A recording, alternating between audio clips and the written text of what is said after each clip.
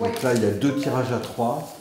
Euh, un pour Elisabeth et euh, Waouh je vais être la gardienne du tirage à trois. Ah, regardez. Donc c'est une, euh, Et J'avoue, quand j'ai pris mon poste en septembre 2022, j'ai découvert des bandes dessinées dans mon bureau, ce qui est assez rare quand même dans le bureau d'un directeur d'établissement d'enseignement agricole.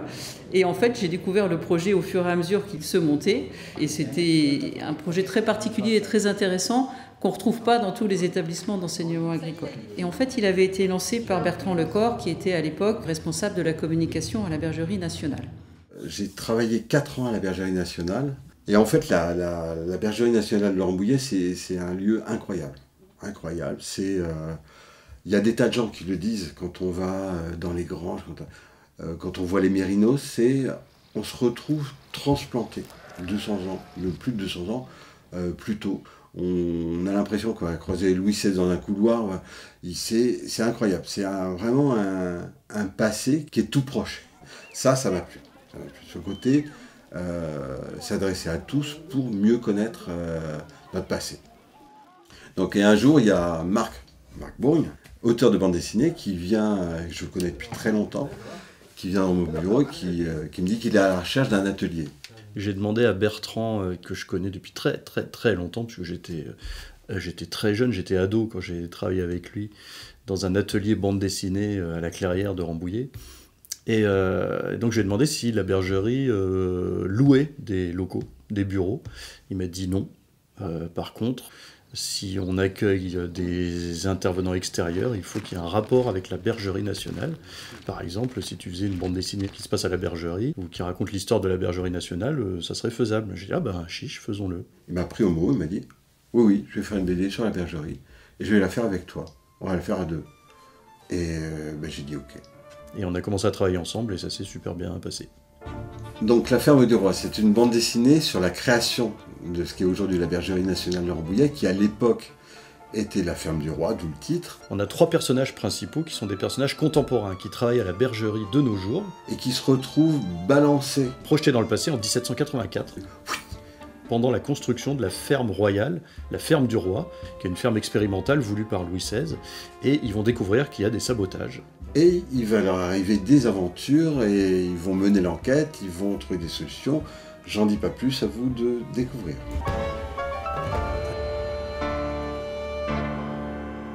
Ce que je ne voulais pas faire, au départ, c'était une bande dessinée historique, euh, didactique. Moi, je voulais une histoire de fiction avec des personnages de fiction et avec une aventure sur un fond historique documenté, avec des personnages auxquels on s'attache et qu'on- dont on a envie de, suivre les aventures.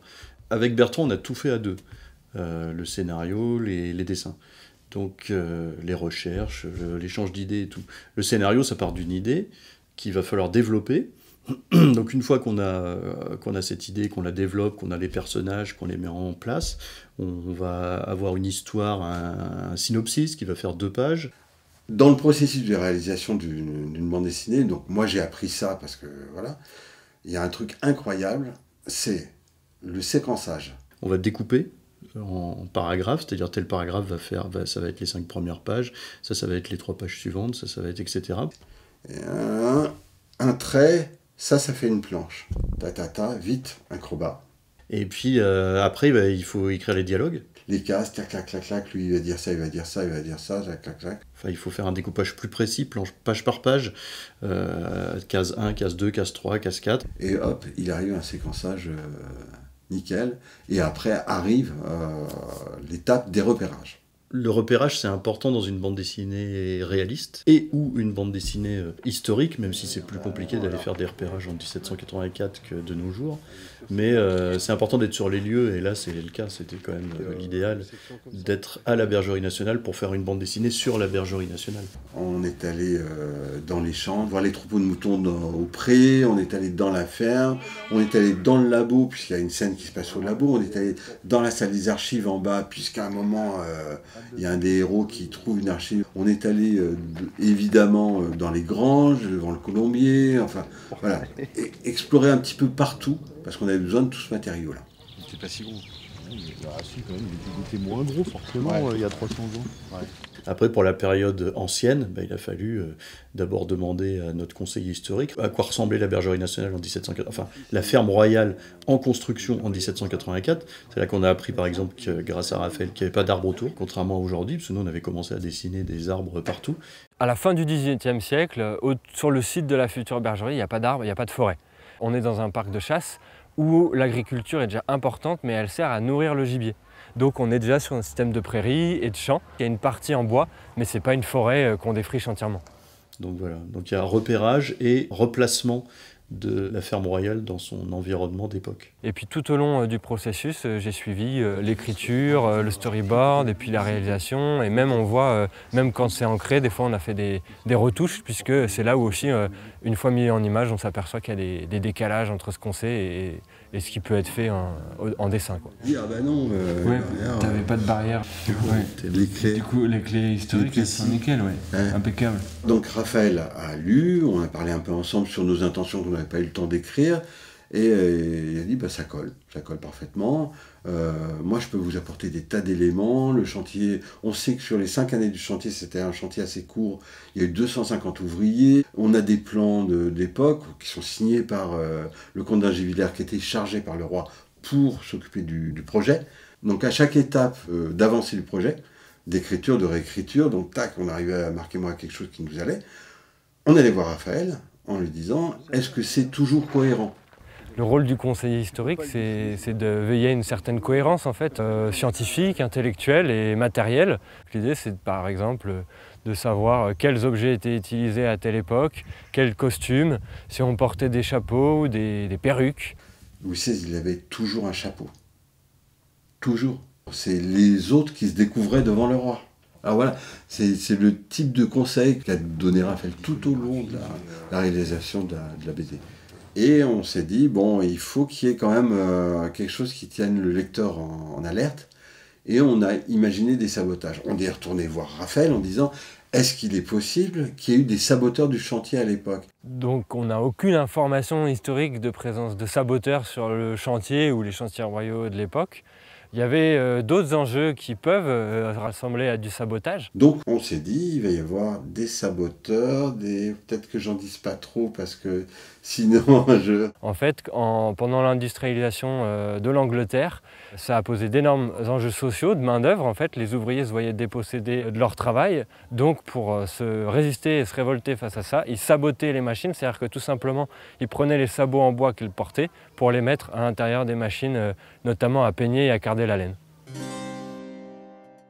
Puis après, sur ma partie euh, du cahier historique, l'idée c'était de voir comment l'adapter au projet sur la bergerie. En gros, il y a un article de fond, on va dire un chapitre central sur la réalisation du chantier tel qu'on l'a fait historiquement, et puis de revenir euh, sur des portraits de, personnes qui sont évoquées ou qui ont un rôle dans la bande dessinée, euh, qui ont eu un rôle plus ou moins important dans l'histoire de France, comme le comte d'Angivillers ou le Noir, voilà, ça peut être ça, ou le directeur de la ferme à l'époque, et bourgeois on vous raconte une histoire, mais la BD aussi, elle a une histoire, en fait. Et ce cahier historique peut permettre au lecteur de relire l'album ensuite avec un œil neuf et découvrir des choses différentes. Euh, le rôle d'un éditeur en BD, bah, c'est un peu un chef d'orchestre en fait, un éditeur. C'est-à-dire que c'est lui qui va euh, regrouper euh, autour de lui et autour d'une équipe d'auteurs tout un tas de créateurs autres, j'ai envie de dire, que le scénario et le dessin, pour arriver au final à ce qu'on ait un album de BD qui, sorte. Euh, et, donc en travaillant sur ce projet, bah, j'avais l'opportunité d'aller découvrir un univers que je ne connaissais pas. À partir de là, je dis bah oui, ça m'intéresse, c'est un projet qui a l'air intéressant, je pense qu'il y, a des choses à faire, puis il y a des choses à découvrir, ça risque d'être chouette, donc, donc allons-y. Le rôle de l'éditeur, bah, c'est aussi euh, d'apporter un, œil, un regard un peu, euh, peut-être pas critique, mais un peu, euh, un peu différent sur ce, que les, sur ce que les auteurs vont proposer. Par exemple, je me souviens quand j'ai lu le, storyboard complet que, Bertrand et Marc m'ont envoyé, il y avait une, scène qui se passe dans les bois où l'un des personnages suit un autre personnage, il le file dans les, dans les bois. On sent qu'il va se passer quelque chose, on tourne la page et bah effectivement, il s'est passé quelque chose, mais on ne l'a pas vu. Et donc là, je les ai appelés, je leur ai dit, il manque un truc, c'est-à-dire qu'on fait une BD d'aventure, on fait une BD historique, et il manque de scène d'action. Et donc on a rajouté quelques pages où on voit la scène d'action. On voit la, bagarre à l'épée, on voit le type qui, se barre à cheval. Ça, voilà, ça c'est des choses qu'un éditeur peut, peut, apporter. Voilà, et puis travailler aussi avec des gens, avec des gens sympas, des gens chouettes.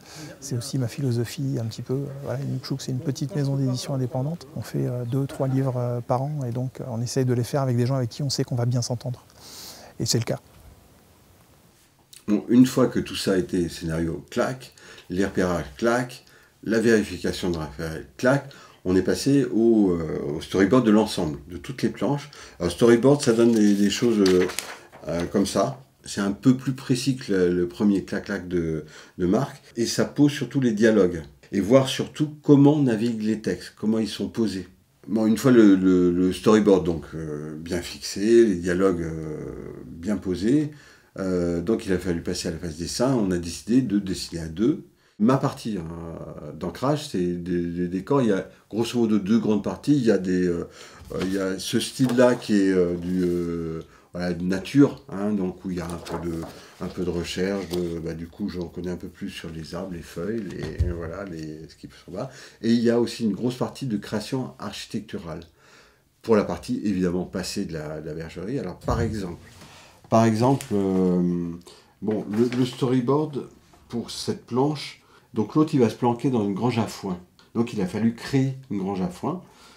J'ai commencé à, faire un petit peu des. à imaginer une grange, c'est-à-dire avec un dégagé ici pour l'aération, pour que le blé ne, fermente pas, donc avec un petit chapiteau, euh, des cales pour isoler du sol, pour que les, rats ne, viennent pas euh, manger des céréales. Et je suis arrivé finalement à ça. Je, je me suis fait un tracé euh, très technique, en fait, qui m'a servi pour les perspectives. Donc euh, je suis passé par l'ordi pour faire mon crayonné. Euh, après, j'ai pu ancrer directement. En fait, au, départ, euh, sur le dessin, c'est trop propre. Et Marc m'a dit, oh non, une grange, il faut quand même qu'il y ait du bazar. Hop là, du bazar. Et finalement, donc, ça donne ça. Hein. au final, ça donne ça. Et Marc a dessiné les personnages. Alors pourquoi? Parce que Marc Bourgne, c'est un nom dans la BD, il a, il a son lectorat, il a des gens qui attendent le trait Mark Bourne, de reconnaître Mark Bourne dans la BD. Contrairement à beaucoup de mes collègues dessinateurs de BD qui sont passés à l'ordinateur, qui travaillent sur palette graphique, moi je travaille toujours de façon traditionnelle, comme on le fait depuis une centaine d'années, en bande dessinée, euh, sur papier. Euh, donc la, première étape, on l'a vu pour la, création d'une bande dessinée, c'est le storyboard, c'est le, croquis préparatoire de la page. Ça, il faut le reproduire sur la planche puisque une planche, c'est là-dessus qu'on va dessiner la page de bande dessinée, qui est sur une feuille euh, blanche, une feuille euh, suffisamment épaisse pour pouvoir euh, travailler l'encre dessus, et sur laquelle on va reproduire le, storyboard, et on va le préciser, donc ça va être un crayonné, donc on va recommencer, c'est l'étape la plus longue parce qu'on va dessiner la page dans le détail, euh, gommer, recommencer jusqu'à ce que ce soit parfait. Et ensuite on passe à l'ancrage, c'est-à-dire que le crayonné, on va le repasser à l'encre. On peut le repasser à l'encre à l'encre de Chine, euh, plume et pinceau, ou, euh, bêtement avec des stylos. des stylos plus ou moins fins ou un, feutre pinceau qui permet de faire les aplats noirs ou les traits plus épais. Voilà, donc ça c'est l'étape de l'ancrage. Une fois que l'encre est sèche, on gomme la page, le crayon s'en va, il reste l'encre. La page est propre, elle est prête à être scannée et envoyée à la coloriste qui va la mettre en couleur. Voilà. Je suis coloriste depuis une bonne euh, vingtaine d'années maintenant. J'ai euh, travaillé euh, avec des grandes maisons d'édition comme chez Glénat, Delcourt, Dupuis, Casterman. Alors, le métier de coloriste consiste en fait à, mettre en couleur un album suivant des cahiers des charges que je reçois de la part euh, du dessinateur et ainsi que de la maison d'édition. Donc, j'essaye de m'imprégner du scénario, de comprendre vraiment son univers artistique.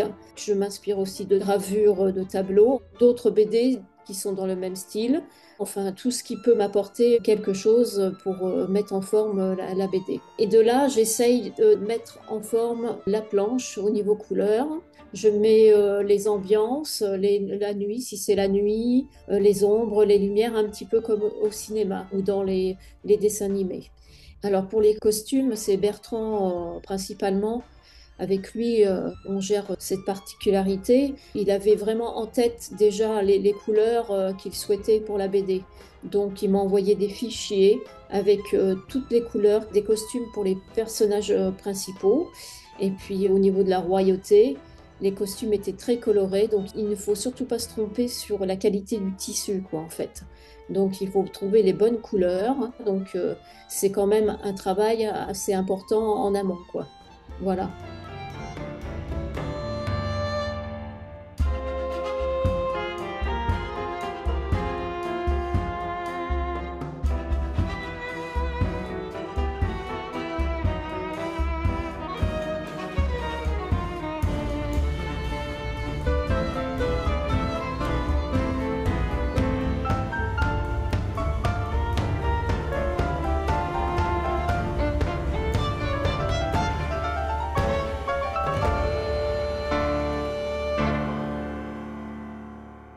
J'ai fait euh, plus de 60 albums dans ma carrière, euh, qui commence à être déjà longue, que ce soit comme dessinateur, comme scénariste ou, comme, ou les deux, auteur complet.